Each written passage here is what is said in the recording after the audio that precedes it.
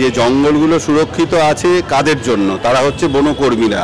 যারা রোদে, জলে সমস্ত রকম প্রতিকূলতার মধ্যে তারা কাজ করে যাচ্ছে সংরক্ষণ করার জন্য, জঙ্গলটাকে বাঁচিয়ে রাখার জন্য। জঙ্গল না বাঁচলে তো বাঘ বাঁচবে না। তো সেই জায়গাটার থেকে আমরা চেষ্টা করি এটা প্রতি বছর করার জন্য যে আমরা বনকর্মীদের সম্বর্ধনা এবং নাগরিক সম্বর্ধনা, সিভিল সোসাইটির মেম্বারদের হাত দিয়ে তাদের কাছে খুব সামান্য, এইটুকু যদি তারা প্রায় আমার মনে হয় এটা তাদের কাছে একটা অ্যাডিশনাল একটা, কি বলব, একটা বুস্ট হয়। কোটি কোটি গাছ কাটা পড়ছে, যেভাবে সভ্যতা বিস্তার হচ্ছে, যেভাবে জঙ্গল ছোট হচ্ছে এবং গাছ কাটা পড়ছে, যেটা আমি বারে বারে বলছি, এই জায়গাটা যদি আমরা মানুষের কাছে না তুলে ধরতে পারি, তাহলে আরও আগামী দিনটা আরও দুর্বিষহ।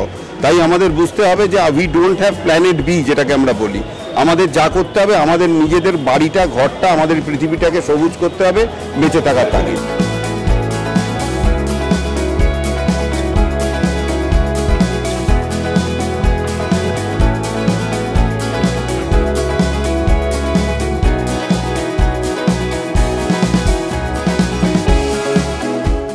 শের তো আমাদের কাজের মধ্যে, ছাত্রছাত্রীদের মধ্যে অ্যাওয়ারনেস ক্রিয়েশন সবসময় করতে থাকে।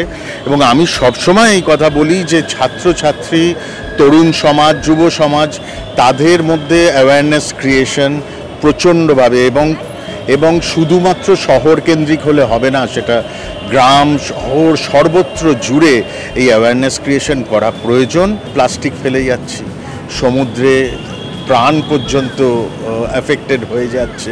ওই একটা প্লাস্টিক ফেলা শহরে, আমাদের বাড়ির পাশে, সেখান থেকে শুরু করে সেটার এফেক্টটা হচ্ছে কিন্তু যাচ্ছে বন্যপ্রাণ কনজারভেশন সর্বত্র এবং দ্যাট হোল গ্লোবাল ওয়ার্মিং থেকে শুরু করে যাবতীয় ডিসব্যালেন্স যা যা ঘটছে, সেগুলো সমস্ত আমাদের জন্য।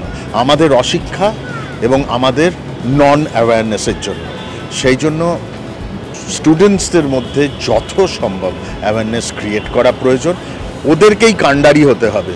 ওদেরকেই আমাদের ভবিষ্যতের দায়ভার নিতে হবে।